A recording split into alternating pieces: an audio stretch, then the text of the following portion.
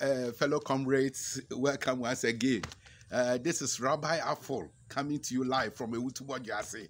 Uh, just like I've been saying, it excites me when uh, I'm able to reach you in your various offices and homes in this manner and uh, uh, to have chats. I mean, some homely chats with you. Um, today, we are going to have a look at Bible secrets. Bible secrets. There are certain uh, verses and chapters in the Bible which can be used for financial breakthrough.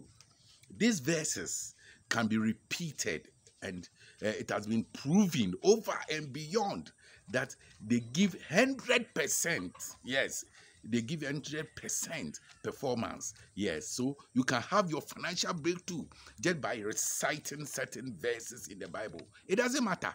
You can be of any sect or religion, it will still work for you.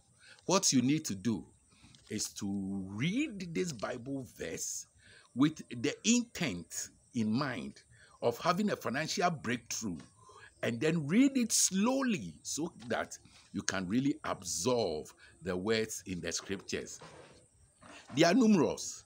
You can either read all of them or pick them one by one.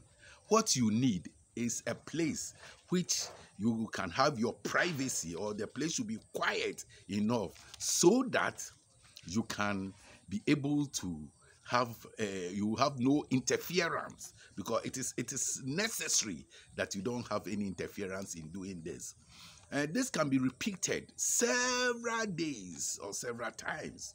And we do not have a limit for repeating these bible verses so that you can be assured of a financial breakthrough what you have to set your mind is that you are going to get the breakthrough. The faith should be there. And then I assure you, because it has been proven several times, and uh, it will benefit anyone who does repeat this. I repeat, you need to have your privacy, no disturbances, a place where it's quiet. So I really suggest that you can do this at dawn around 3 o'clock, uh, 3 a.m. in the morning to about 6 uh, a.m. That will be the best time to do this so that there is no interference in what uh, you will do. Okay, so what is happening too is that you get your privacy and you repeat them. I'll show the verses in the Bible that give this breakthrough. They are numerous. You, can combine as much as you want, or you can repeat each one. The first one is uh, Proverbs. Proverbs chapter 7. It means you have to read the whole of chapter 7. Uh, Proverbs chapter 9. And then Proverbs chapter 12. Proverbs chapter 15. And Proverbs chapter 16. I mean, the whole of 16. Proverbs chapter 17. Then Proverbs chapter 21. Proverbs chapter 24. And Proverbs chapter 25 and Proverbs chapter 31. These verses can give you your financial breakthrough. You can either decide to combine some or just eh, take one and repeat them several times. You do this until you see your breakthrough. This uh, is proven beyond all doubt, and you will get good results. I assure you, you'll get good results. Now, Song of Song, Song of Song, chapter 2. Then Song of Song chapter 4 and Song of Song chapter 8. Chapter 8. You can repeat these two, but meanwhile, as you repeat, you have to keep your intent in mind that it is a financial breakthrough that you want. And these are all words of power that are hidden in the scriptures.